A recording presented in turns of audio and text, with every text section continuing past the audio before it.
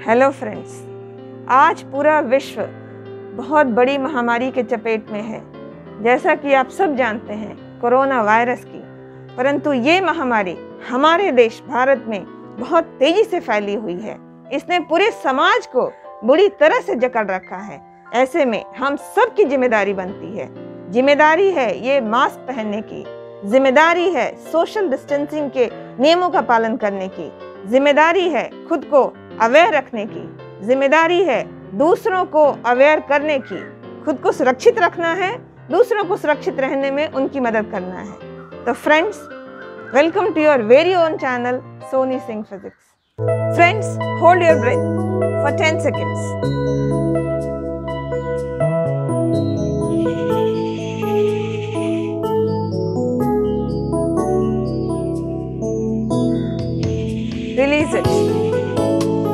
Breathe in, breathe out. Breathe in, breathe out.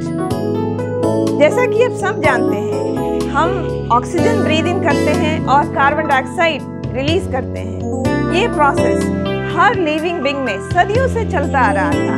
No buddy was really care कि हम क्या breathe in करते हैं और क्या ब्रीद आउट करते हैं। बट अचानक से समाज में ये ऑक्सीजन और कार्बन डाइऑक्साइड की चर्चा बहुत बढ़ गई। इसकी क्या वजह है? इसकी वजह है कोरोना वायरस। इसके आने से ऐसी बीमारी ने हम सबको घेरा, जिसकी वजह से हमें सांस में तकलीफ़ होने लगी।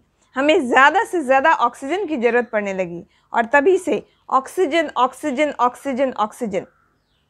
तो फ्रेंड्स, इस वीडियो में हम बात करने वाले हैं ऑक्सीजन की।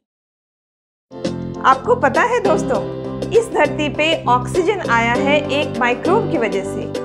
और जिसका नाम है साइनोबैक्टीरिया और blue green algae millions of years ago ये साइनोबैक्टीरिया बहुत ज़्यादा मात्रा में थे और इन्होंने बहुत ही ज़्यादा मात्रा में फोटोसिंथेसिस प्रोसेस किया, जिसके रिज़ल्ट में बहुत ज़्यादा ऑक्सीजन रिलीज़ हुआ। पूरी धरती एक ऑक्सीजन के कवर में कवर हो गई, जिसकी वजह से वो ऑर्गेनिज्म जिनको कार्बन डाइऑक्साइड चाहिए था जीवित रहने के लिए उनकी समाप्ति हो गई। और इस एक्सेस ऑफ़ ऑक्सीजन इवेंट को नाम दिया गया ऑक्सीजन कैटास्ट्रॉफ और ग्रेट ऑक्सीडेशन इवेंट सो ये एक समय है जिसमें ऑक्सीजन जिम्मेदार हुआ बहुत सारे लाइफ को खत्म करने के लिए।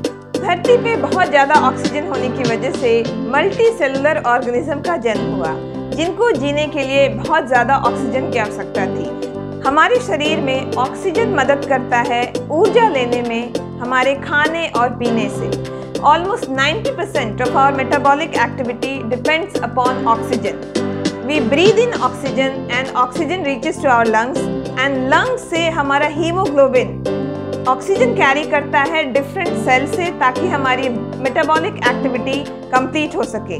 तो अब हमें सोचना ये है कि कोरोना वायरस क्या करता है हमारे शरीर में, जिसकी वजह से हमें ऑक्सीजन की इतनी कमी हो जाती है। Actually corona virus infects our respiratory tract so जब हमारा लंग्स और हमारे रेस्पिरेटरी सिस्टम इन्फेक्ट हो जाते हैं तो हम प्रॉपरली ब्रीथ नहीं कर पाते। और जब हम ब्रीथ नहीं कर पाते हैं तो हमारे शरीर में हमारी मेटाबॉलिक एक्टिविटी को करने के लिए जो ऑक्सीजन चाहिए होता है, वो नहीं मिल पाता है। और उसकी वजह से हमारी मेटाबॉलिक एक्टिविटी रुक जाती है और हम बहुत ही बुरी कंडीशन में आ जाते हैं। पल्स ऑक्सीमीटर एक छोटा सा डिजिटल उपकरण है, जो शरीर में ऑक्सीजन लेवल की जाँच करता है। इसमें हाथ की उंगली फंसाते ही यह पता चलता है कि लाल रक्त कोशिकाएँ कितना ऑक्सीजन हृदय से शरीर के अन्य भाग में पहुँचा रही हैं। ध्यान रखें कि आप एक ही उंगली को ऑक्सीमीटर में फंसाकर ऑक्सीजन लेवल की जाँच करें। जाँच के दौरान ऑक्सीमीटर में अपनी उंगली ठीक से सेट करें। ऐसा न करने पर रीडिंग गलत हो सकती है। एक स्वस्थ व्यक्ति का ऑक्सीजन स्तर पंचानवे से सौ के बीच में होना चाहिए। यदि कोरोना संक्रमित मरीजों का ऑक्सीजन स्तर बानवे तिरानवे आता है तो आपको घबराने की ज़रूरत नहीं है, लेकिन इस दौरान आप अपने डॉक्टर्स को तुरंत सूचित करें। कोरोना संक्रमित व्यक्ति को हर घंटे पर ऑक्सीमीटर द्वारा ऑक्सीजन स्तर की जाँच करनी चाहिए। मेडिकल ऑक्सीजन में अंठानवे प्रतिशत तक शुद्ध ऑक्सीजन होती है। हवा में 21 प्रतिशत ऑक्सीजन एवं अन्य गैसें मौजूद होती हैं। ऑक्सीजन प्लांट में मौजूदा एयर सेपरेशन की तकनीक से हवा से ऑक्सीजन को अलग कर लिया जाता है। इसमें हवा को पहले कंप्रेस किया जाता है, फिर फ़िल्टर की मदद से इसमें से अशुद्धियाँ निकाल दी जाती है। अब फ़िल्टर की हुई हवा को ठंडा करने के बाद डिस्टिल किया जाता है, जिससे ऑक्सीजन को बाकी गैसों से आसानी से अलग किया जा सके। इस पूरी प्रक्रिया में हवा में मौजूद ऑक्सीजन लिक्विड में तब्दील हो जाता है और इसे स्टोर किया जाता है। इस पूरी प्रक्रिया को स्टोर करने के बाद ही ऑक्सीजन को मेडिकल ऑक्सीजन कहते हैं। मौजूदा वक्त में मेडिकल ऑक्सीजन एक और तरीके से बनाई जाती है। इसमें एक पोर्टेबल मशीन आती है, जो हवा से ऑक्सीजन को अलग कर मरीज़ तक पहुँचाने में सक्षम है। इस मशीन को मरीज़ के पास रख दिया जाता है और ये लगातार मरीज़ तक मेडिकल ऑक्सीजन पहुंचाती रहती है।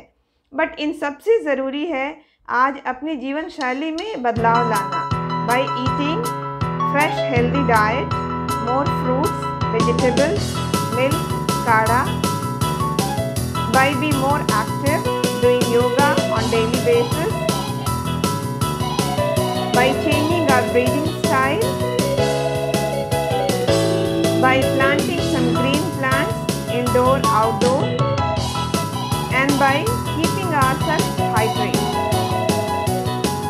So friends, in this time of COVID, we don't have to be panic. हमें अपने आप को पॉजिटिव रखना है। ये हमारी ज़िम्मेदारी है खुद को पॉजिटिव रखें और दूसरों को भी पॉजिटिव रखने में मदद करें। इसी बात पे मैं आपको एक जोक शेयर करती हूँ। ऑक्सीजन और मैग्नीशियम में प्यार हुआ। तो क्या हुआ? O M G O my God there are many videos which is available which will tell you how to be positive but from my side some of the tips listen some good music like this do some dancing aerobics zumba fortnite dancing or whatever you like to do read books, write their review and do some activity like gardening. Gardening is one of the very refreshing activity. Nowadays, there are many indoor plants are available which can enhance your home oxygen level. So do some gardening also or whatever activities you like to do, do it. Keep yourself positive and if you like this video, hit the like button and subscribe to my channel.